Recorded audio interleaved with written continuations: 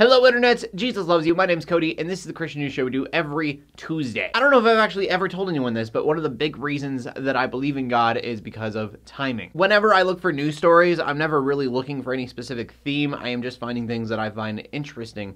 But today I found that everything we're talking about has to do with prayer and action. And if it isn't weird enough that all of those kind of lined up, I'd put this shirt on before getting those stories. So apparently I'm supposed to talk about prayer today. The first story is kind of a feel-good one, and that is the America's Tent of Meeting happened this last week. It's an event that happens in Washington, D.C., and it brings together 30,000 people to pray for a shift in America. And that's definitely something we need, a shift in America right now. And regardless of your thoughts on prayer, bringing 30,000 people together uh, in hopes to change America, uh, for there to be less hate in this world is a good thing. And our next story is a study done on how people make decisions. Where do they go to before making an important decision? And I love the headline to this because it's more people pray than going to social media for these kind of decisions, which according to the study is true uh, by 2% because only 4% of people said they would go to social media for these kind of choices. In other words, only 6% of people pray before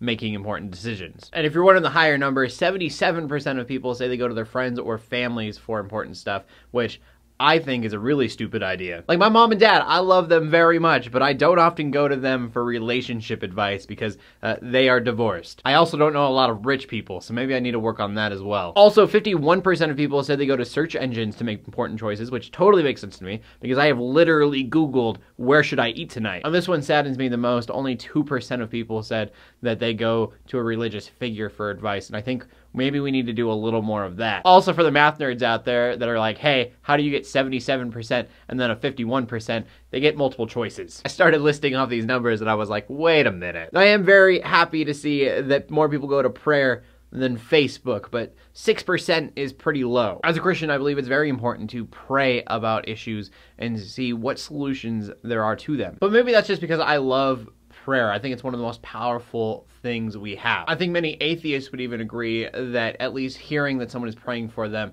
whether they believe it's going to work or not, is at the very least comforting. But as much as I love prayer, we're going to turn this conversation around a little bit because there is a video game that has come out that is going viral. It's a game you can find on your browser. Calling it a video game is a bit relative. And you can find it at thoughtsandprayersthegame.com. In the video game, you get two choices, think and pray. There's a picture of the United States map. And shootings light up the map with how many dead. Your choices are to either think or pray, and you can hit them as many times as you want. At the end of the game, you have a score. There's the number of times you thought and prayed, and then the number of lives you saved. And the number of lives you saved stays at zero. And at first, I think like many, I found it a bit offensive. It makes you feel a bit made fun of, especially after the recent Vegas shooting uh, where I and many others have posted that our prayers are with the people affected. I played that game twice and I saw the number both times, zero lives saved. I can find that just because I'm a little bit offended doesn't mean that I'm right. Like I said before, I think that prayer is one of the most important things